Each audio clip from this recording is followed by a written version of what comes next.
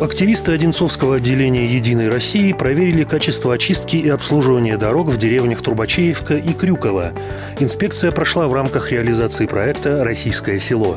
Эти деревни были образованы много десятилетий назад. Здесь нет широких улиц и практически везде частные участки домовладельцев граничат с придорожными кюветами. Поэтому важно вовремя расчищать снег и обеспечивать разъездные уширения дорог. Во время инспекции партийцы убедились в том, что все осмотренные улицы очищены от снега, везде есть возможность разъезда, а дороги посыпаны свежей песчано-соляной смесью.